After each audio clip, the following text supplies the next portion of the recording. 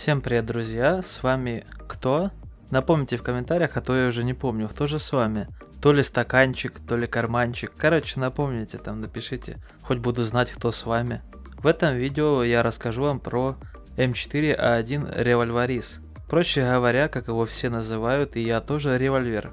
Карта у нас промзона, именно на ней я взял третью отметку на этом танке. Поскольку там непонятки с балансом, плюс еще марафон, в ближайшее время вас ждет куча стримов и видео по трем отметкам на различных танках, в частности премиумных, поскольку сейчас балансировщик более благосклонен к 7, 8 и 6 уровню. Поэтому я буду побольше катать прем танки 8 уровня, заодно и понабиваю три отметки там, где еще не набил. До этого очень продолжительное время танки 8 уровня не очень радовались балансировщику и попадали всегда в конец списка. Поэтому я на них особо не играл.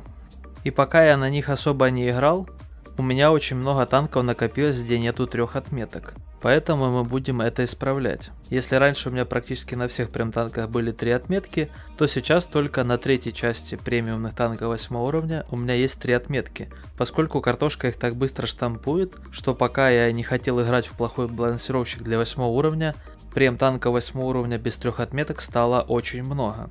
Поэтому держу в курсе, готовьтесь, куча третьих отметок на восьмерках на премиумных. Закрываю свой очень такой долгий долг по премиумному танку револьвер. Набил я третью отметку, сейчас на нем планка крайне низкая. 2400 суммарного урона плюс на света либо сбитой гусеницы нужно держать, чтобы взять три отметки – это крайне мало, это очень мало. У этого танка альфа 390. Неплохая стабилизация, но это все скорее из-за того, что танк очень медленный, а это уже минус. Также танк ватный и большой. Иногда, если корпус перекрутить, либо сильно наклониться куда-нибудь вперед, либо назад, этот танк может сделать неожиданный для врага рикошет. Знаете, такое бывает. Достаешь шоколадку, а там фольга. Берешь, тыкаешь в нее пальцем, а она говорит рикошет. И ты такой типа, чё? Должна быть большая дырка на всю шоколадку. А оно говорит рикошет. Вот так же и враги такие типа, чё? Но не удивляйтесь, иногда французская броня рикошетит. Эти удивленные лица, когда в бачата 10 уровня стреляют и слышат рикошет, но никто даже не задумывался, что у французов довольно-таки неплохие наклоны у брони, и если танчик наклонить особенно назад очень сильно, то ВЛД способна делать рикошеты. Но на бате это делать легче, потому что танчик низкий и плоский, а вот револьвер это как шкаф, поэтому рикошеты на нем делать очень трудно, но они редко, но бывают. Это чисто в качестве удивления. Итак, уже в принципе я раскрыл все фишки этого танка, минусы и плюсы. Плюсы этого танка. Большая альфа, неплохая стабилизация и крайне высокая скорость полета снаряда основного. 1400 с хвостиком скорость полета снаряда. Альфа страйк у танка 390. Плюс стабилизация, плюс неплохая точность, но довольно-таки долговатое сведение, потому что все-таки альфа большая. Благодаря плюсам пушки этого танка очень хорошо и легко вырубать танки легкие и средние, особенно которые где-то катаются и думают, что на скорости проскочат. Но никто не проскочит против снаряда, который летит со скоростью 1500. Есть еще один интересный танк, у которого скорость полета снаряда 1700, но о нем мы когда-нибудь поговорим потом. Тем более это не прем. Итак, самые главные цели, которые мы будем вырубать, и для нас это будет просто как прелесть и бесплатный урон, это едущие СТшки и ЛТшки. Самая приятная цель это быстро едущая ЛТшка, поскольку упреждение по ней брать надо не сильно большое за счет того, что снаряд летит быстро, плюс у ЛТшек нет брони, то урон наносится крайне легко. А вот что касаемо всяких тяжей, особенно с хорошими углами наклона брони, а это скорее всего советские танки, вы уже догадались, с ними проблем просто много. Особенно какие-нибудь ИСы третьи, это просто ужас. Поскольку подкалибер не любит наклонную броню, да и пробитие у нас всего лишь 200, а это чуточку ниже, чем среднее пробитие. Поэтому ватные танчики, которые быстро ездят, для нас самый сок. А бронированные с наклонами это фу, не надо нам таких врагов.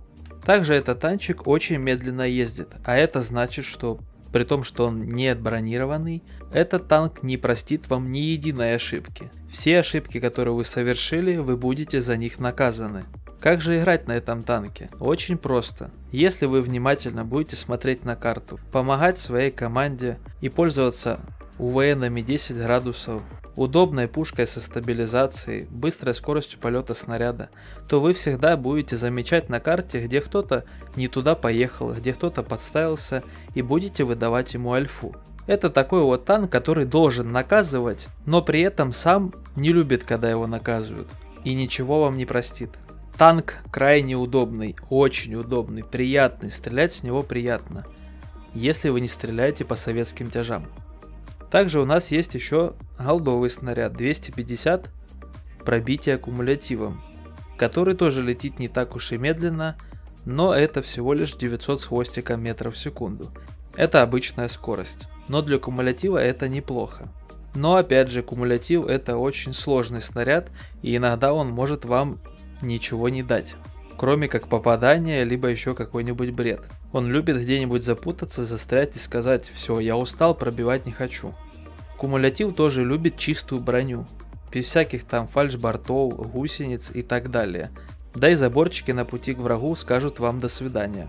Поэтому стрелять с револьвера легко и приятно только по ватным танкам. А что касаемо бронированных, это уже тяжело, и иногда танк просто не хочет пробивать. Такие бои случаются, но редко. Ну и в нынешнем балансировщике самое оно покататься на револьвере, поскольку планка трех отметок очень низкая, а десятки встречать вы будете редко. Да и ЛТшек сейчас в игре много, а ЛТшки это наш урончик, поскольку пулька летит быстро, и колесный дебильчик наматывается на этот снаряд большой, очень приятно. Как бы я оценил этот танк? По силе? Хороший он, не хороший. Я бы оценил этот танк 6 картошек из 10 картошек. Одну картошку я отниму у него, потому что он не универсальный, он никуда не успевает, если вы плохо следите за боем. Еще одну картошку я у него заберу, потому что у него по сути однообразный геймплей, аккуратненько ездить, смотреть и тыкать урон по тем, кто подставился. При этом самому агрессировать очень сложно и можно как танк поддержки поиграть максимум из-за спин союзников.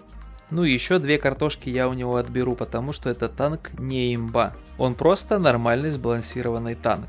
Вот и получается у нас 6 картошек за вырубание быстроедущих танков, за приятную альфу и в принципе приятную стрельбу. Это и УВНчики, и стабилизация, и все, что я выше перечислил. Но все же этот танк ближе к ПТ, чем к средним, хоть и значок у него не от ПТ. С вами был Варчик, играйте красиво, пока.